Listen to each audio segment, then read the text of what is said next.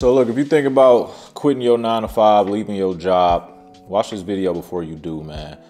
I've been there before. I done quit several jobs in my life and I done learned a lot from those situations and those moments. And I just want to share with you, you know, a few things to consider before you make that jump, before you make that leap of faith. And uh and yeah, just just some things you can learn from from my mistakes and then also some game you can take away, you know, to just add before you finally make that jump and make that leap. So stick around, watch the rest of this video. Welcome to the channel Game to Live By. Hit that subscribe button for the boy. Hit that share button for the boy if you know anybody that could benefit from this type of information. So uh, back in back in like 20, 2015, I, I quit my, my last job. And when I quit that job, I, I told myself, I'm like, I'm gonna never work for someone else ever again. I'm like, this will be the last time I'm, I'm punching somebody's clock, right? Before that, I have worked every job you could think of from like ninth grade, beginning of high school, on up to, you know, my, my mid 20s. And uh, I'm talking, I don't work fast food, I don't work retail, I don't work uh, plant jobs, warehouse jobs, I don't work I don't work a little bit everywhere, man, and it just never felt it just never felt like me. It just never felt like what I, I, I, felt I was called to do. It didn't feel like my purpose. No matter what job it was, I just never enjoyed punching somebody else's clock, having to report to somebody, ask them, can I go out of town? Ask them, can I call off of work? It just never, it just never sat right with me, bro. I've always struggled with working for someone else. So, the last job I was at, I was working in a plant, man. I used to work for Chrysler, bro. And at that time, you know, when I first got in, everybody was like congratulating me. It's like a big deal, especially in Detroit. You know, it's a big deal when you make it into the big three, uh, Ford, Chrysler, or GM. So you make it into one of those, you kind of made it in the city. You know, everybody knows you about to be getting the bonuses. You about to be getting a, a decent amount per hour, and it is it is good living. If you manage your, your money well, you should be doing okay for yourself, right? Now people get in there and the money start coming so fast and you know, people blowing their money and, and spending it on whatever. But if you get in there and you manage your money right, you can run it up and, and you can do very well for yourself. But for me, it just didn't, it just didn't sit right with me, you know? Going in there every day, I would just be like, man, this just this can't be it. This can't be my life. This can't be how things play out. So I eventually got to the point where I quit. Now, what I didn't do and what I would advise anyone watching this to do before making a move like that, right? At the time, I was mid 20s, had a daughter. My daughter was super young at the time. You know, she probably was like three, two or three years old. And I had a decision to make. And so in that moment i made an impulsive decision and i just i just up and quit right i didn't have no plan i didn't know how i was about to make no money going forward i just knew i couldn't do it no more man uh, at the time i was what was i doing i was i was i was pursuing music like a lot of a lot of cats do right and so i'm just like man i'm about to do this full time blah blah blah, i had no plan and i would suggest that if you're considering leaving your job to become an entrepreneur and work for yourself, please have a plan before you quit. Do not do it the way I did. I just upped and quit and said I'm gonna figure it out later. And that is not that's not wise. I wouldn't suggest doing it that way. I would suggest you make a plan and stick to that plan, right? So if you work if you punch in the clock and you know that you got bills coming in every month and it costs this much money per month for you to pay all your bills and all that stuff, I would suggest you you stack up a good six months to a year worth of money to where when you leave your job, you got a, a cushion that's gonna hold you over. Because typically we think I'm gonna quit, I'm gonna start working for myself, I'm gonna be an entrepreneur, and everything gonna blow up overnight, and then I'm gonna be rich. Right? That's how that's how we think it's gonna go, and it almost never goes like that especially if you don't have a super strong drive and push and will to make it. You got to work all day. You're to be working more once you start working for yourself. It's to be more work. It's to be harder work when you become an entrepreneur. it doesn't get easier just because you ain't got to go punch nobody clock. Now every dollar you make is dependent on you. It's dependent on the work you put in. It's nobody to just cut you a check. So if you don't have a super hard drive like that, just know it is not going to be easy. And so I would suggest setting a, a, a, certain amount of money aside, stacking up enough money and putting it to the side to where once you leave your job, you got a big enough cushion to where you don't you don't uh, need your entrepreneurial journey to take off like tomorrow. And now you're struggling and you're eating noodles every day because you ain't got no money coming in. Your business didn't go as planned. You know, now you're struggling. Now you now you want to get your job back. So that's what I would say. The way that I left my job, I just upped and quit. That's the way I've always left any job. I just upped and quit. I just like, I can't do it no more. I ain't doing it no more. But once you become older and wiser, you understand that it's better to have a plan. It's better to have things structured, and then you could just follow that plan. Yes, things may not always go as planned, but if you got something to follow, a blueprint, a game plan, it makes life a lot easier versus scrambling trying to figure things out.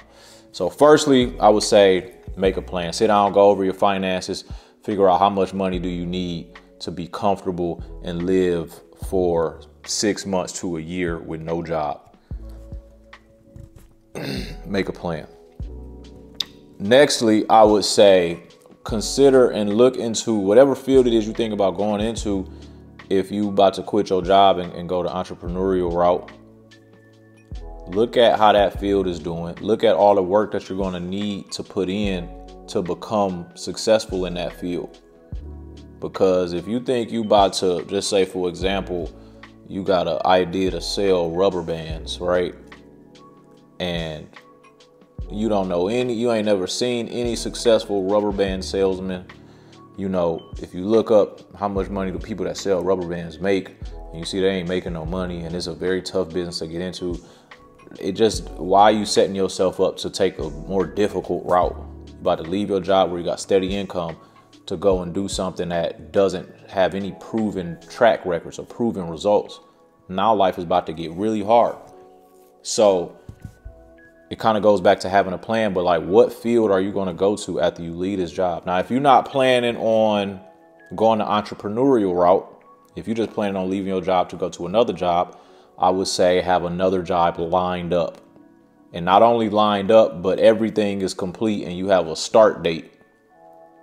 Then you can then you can, you know, let your job know, yo, I ain't coming no more, whatever. However you gonna make your exit, but have another job lined up have a start date, have your paper signed, all of that before you leave that last job. Because I've seen people go into interviews and they'd be like, yeah, you know, we're gonna we're gonna hire you and all that stuff, and then something fall through, and they done already left their old job, and now the new job is telling them they not they not hired no more.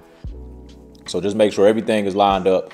You know what field you're going into, entrepreneurial rise. You done studied it. You done seen all the work that you're gonna have to put into it or you got another job lined up if you want to do another nine to five, but make sure it's already lined up and make sure that you got your start date and you starting soon before you leave that last job.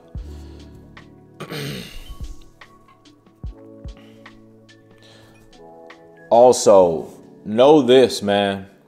I just I briefly just spoke on it, but notice it's gonna be some hard work, man. You leave this job, it's gonna get very difficult the grind starts now. Once you leave, the grind starts.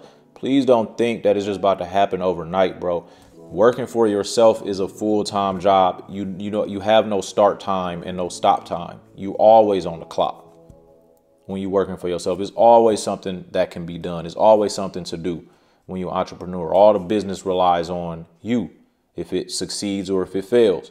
So I see a lot of people had this misconception that entrepreneurs got it so easy or working for yourself is so much easier. So I'm gonna leave my job where I have a steady income and all my bills are paid and I'm gonna go the easier route to be an entrepreneur. And you just got things so twisted, bro. Entrepreneurs and especially successful ones, they work way harder. It's, it's always something to do. It's always some work to do. Everything depends on the success of your business depends on you. So don't think you're about to get out here and things is just going to get easier So if you don't like your nine to five where you at and you think that's difficult, you think that hard, just know working for yourself, it's it's even more work.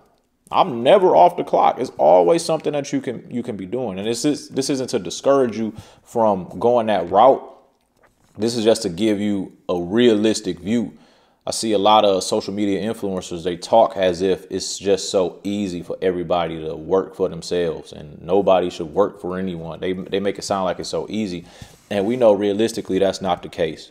It takes us it takes a certain type of dedication, a certain type of drive, even a certain type of financial cushion for you to be able to even pursue this, pursue whatever it is you're trying to pursue. You you really can't have do it. You really get out of it what you put into it. So the more you pour into your business and you pour into yourself, the more you pour into it, the more you'll get out of it. But just know it's a process, bro. It takes time. Growing something from scratch, from ground zero, and then growing it into to not even something that's super successful to make you rich, but just to a point where you can like maintain your lifestyle. You can pay all your bills from something that you thought of and something that you created getting your business structured properly, right? Hiring hiring a, a, business attorney to, to make sure all your stuff is in place, getting you a tax attorney to make sure all your taxes are set up right. All of this stuff take money and it costs money. And you really ain't gonna be seeing no money once you first start your your your new entrepreneurial business or your new journey. The money don't start coming in. It's gonna be a whole bunch of money going out to get that joint started. Not a lot of money coming in, if any money coming in. So please don't think it's just a cakewalk working for yourself, man. When I left my job back in 2015, I had to figure it out. Like I said, I didn't have no plan. So I would recommend you have a plan, but I had to figure it out. I'm, I'm like, all right, I quit my job. I ain't got to go punch a clock no more, but now what? Like, now what? I still have to feed my child, still got to feed my daughter. I got to figure things out. And so I started figuring things out. But I've always been the type that's going to make things happen. i have never been a lazy person. I've never just going to sit back and just say, uh, my life is over. Like I've always been a go getter and go get things done. So that's what I did. I got up and I went to go get things done. And from one thing to the next, I was just knocking things out and I was just becoming more of a entrepreneur and I was starting to understand like, okay, this is a long journey. There's so many things you got to learn, especially if you come from a background of, you know, uh, people that didn't teach you how to run things properly. You're going to bump your head. You're going to make mistakes a lot. If no one taught you how to do it the right way, you got to figure it out. You got to seek knowledge. You got to look for this information to make sure you're doing things right. And all that stuff take time and all that stuff take money and it take effort and it take energy. It's going to be a lot of sleepless nights. So, keep that in mind, man.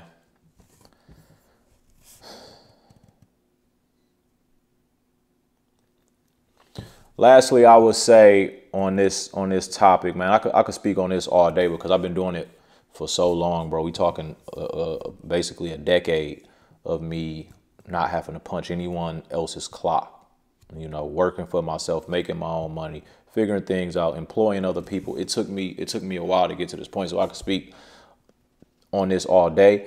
But lastly, I would just say make sure that you're leaving this you want you leaving this 9 to 5, you want to quit this job, make sure that you're doing it for the right reasons. Because I see a lot of people in situations where they may have a good job, they may be in a good in a good situation and they don't even realize it. And everything we do is going to take sacrifice. So if you thinking that, oh man, the grass is greener over there, I could do better. It could be, it could get better. I could do. So I'm gonna leave this job and I'm gonna go over there. Just please make sure you you leaving your job for the right reason. You had a bad day at work, or you know your supervisor said something to you that you didn't like, or whatever the case may be, and in the moment your instincts or your emotions are telling you to just leave, just quit, just throw it all away when it could have been fixed with a simple conversation with you and your supervisor, you and your boss. It could have been fixed with simple conversation, and then you and then you back feeling good about your job. You know, so just make sure you leaving for the right reason. It is like this is it. This is the end of the road at this job for me. There's nothing else that can be done for me to stay here. I'm out. I'm I'm know why I'm leaving. I'm leaving for good enough reasons, and nothing nobody can say to convince me to stay. If that's where you at, that's where you're standing with it, then cool. You know, you take the next steps, all the things that I said, and proceed and plan so that you can exit the right way and you're not out here struggling and you know. So weigh your pros and your cons, weigh your options, right? If I leave, how's my life going to look? How soon will I be able to start bringing some money in? How soon will I be able to get another job? Weigh all of the pros and the cons of you leaving this nine to five before you just up and quit. I'm not opposed to people working, you know, punching the clock. It's like you got to get it some type of way, man. It's it's it's unrealistic to just act like every single person out here is built to work for themselves. That's just not true. Everyone isn't built to work for themselves. Everyone isn't cut from that cloth to be an entrepreneur. And you know yourself better than anyone. So if you know you're not cut from that cloth and you're not built to work for yourself, find a suitable job for you. Find something that that fits you that you don't mind going to. But you jump out in them them entrepreneurial waters, the sharks out there. You gotta swim you got to make everything happen. You got to make shit shake for yourself, man. So just please keep that in mind before you make that move. Hopefully this video helps you in any kind of way. You know what I'm saying? If it did, just leave me with a subscribe, leave me with a like.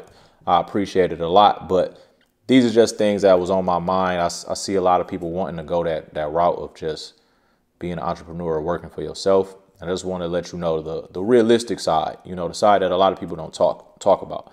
It isn't all roses and glitter and just a bunch of money just waiting on you when you quit your job. Like it's gonna take some work to get to it. it the money is out here, but you gotta work to go get to it. Ain't nobody that's about to hand it to you, man. We all competing for the same goal. So you got people that ain't sleeping. They making sure they get it done while you sleeping. You know, so if you're not ready for that life, if you're not ready to really compete and, and go go eat what you kill, I would say, you know, just consider it consider staying at your, at your job or finding a better job. So I got more videos on the way, man. Please subscribe, like to the channel, all that good stuff. And I'm going to get back with y'all soon, man. Peace.